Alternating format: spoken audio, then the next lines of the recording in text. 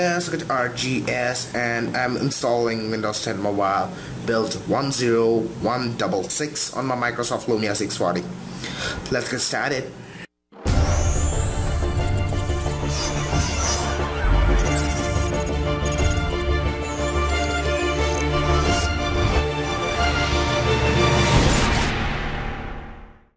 So guys, it's actually preparing to install 20% completed and the update is exactly 724 megabytes because I have just reset my phone and started the update.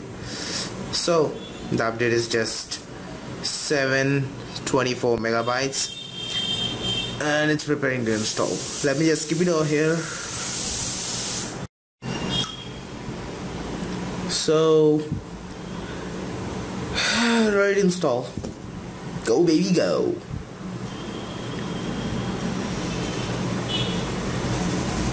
Skip. Got the Microsoft logo. Skip. Got the Windows logo. Skip. Oh, no skip. Well, got the gears and they're seriously turning. I don't know how much time it's gonna take. Maybe one hour, maybe half an hour. Now, skip one and a half hour it is almost done. Don't know when it's actually gonna be done. Guys at last got some results showing the Microsoft logo.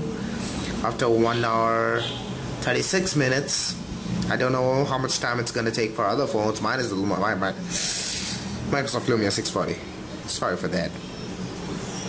Okay now that's the Windows logo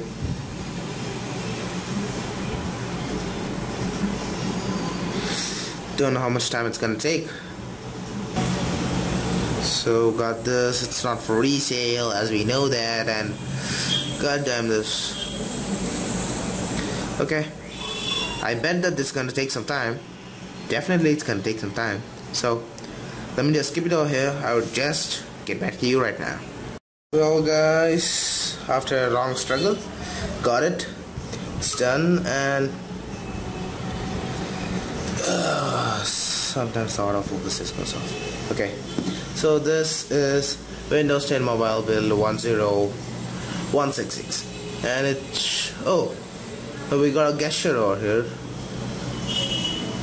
I didn't do anything. Yes, you don't need to press this. Just swipe the status bar again, and it will just give you this.